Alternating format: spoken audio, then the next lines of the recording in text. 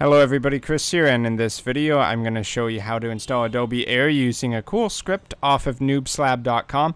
Uh, really useful because Adobe Air hasn't been directly supported on Linux for quite a while. So this script you get by typing in wget-o adobe air.sh space http colon double slash drive dot noobslab dot com slash data slash apps slash adobe air slash adobe dash air dot sh if you didn't get all that that's fine. I have uh, the commands in the description so pretty much just go ahead and copy this into your terminal.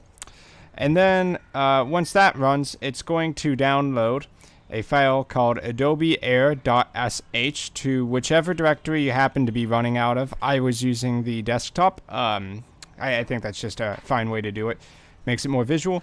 And then once you have that downloaded, you just need to execute the script and basically go through the very basic steps. So in order to make the script executable, you type in chmod plus h space adobeair.sh as you can see, I've already done that, so by typing in the ls command, we can see adobe air.sh is executable.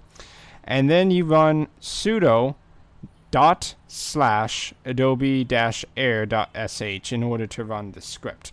So I'll do that again. I probably just going to say that it's already good to go because I did just install it.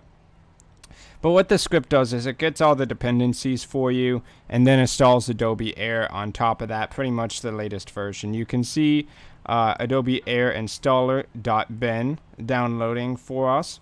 And uh, my internet's really, really slow here. But what happens is um, Adobe Air will pop up and you just hit next to install it. So with these three commands, you should be able to get going with Adobe Air inside of Ubuntu 16.04 or any modern version of Linux. So I've been Chris. I hope this helped you out. Thanks for watching, and I'll see you in my future videos.